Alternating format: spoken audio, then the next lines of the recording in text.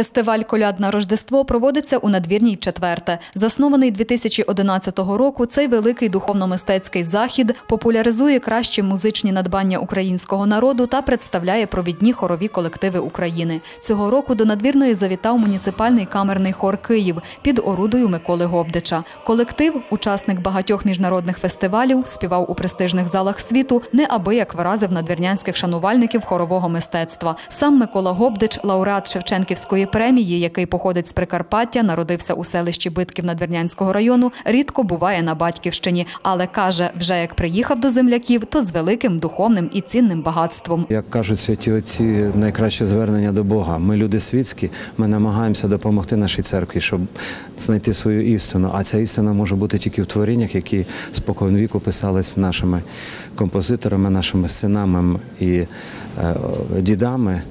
Е, тільки така музика може повернути на путь праведний, бо тільки антихристи можуть вести всю ту справу, яка зараз ведеться на сході України.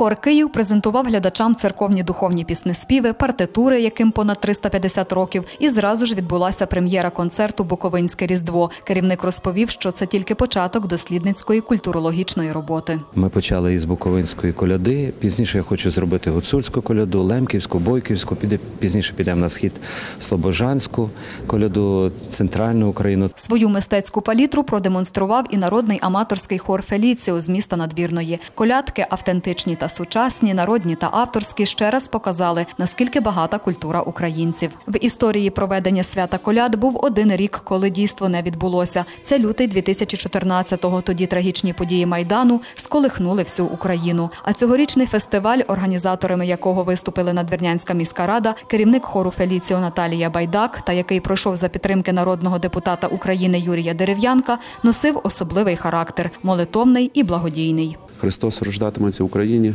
доти, поки лунатиме коляда, коляда молитва за Україну.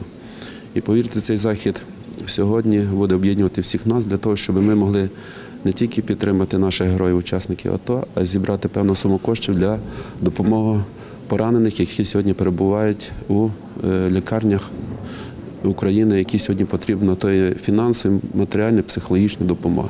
молитва і коляда як молитва, як зброя для України і для українців. І наш е, сьогоднішній фестиваль, цьогорічний, ми присвячуємо усім полеглим героям, усім героям, що зараз воюють, і е, будуть зібрані кошти благодійні на допомогу нашому пораненому земляку, е, танкісту із села Кам'яне Дмитру Тринозі. Такі духовні заходи для військових і цивільних потрібно проводити обов'язково, вважають як організатори, так і учасники дійства. По-перше, церковна пісня це молитва. По-друге, молитва це єднання. Ми ведемо розмову з тим, щоб на допустимій зоні дати ряд концертів, в тому числі Різдва, в тому числі духовних піснеспівів, тому що для наших бійців повинна звучати не просто пісня українська, а і церковна, так як вона століттями утримувала наш народ і нашу країну. І в таких е, заходах відбувається єднання громади, єднання ради того, щоб на сході нашої держави запанував мир і спокій. Якщо ми сьогодні зупинимо російського агресора на сході нашої держави, ми зможемо зберегти цілісність нашої держави. У надвірні запланований ще ряд важливих мистецьких заходів. Усі вони матимуть духовну основу, об'єднавчу ідею та благодійне спрямування.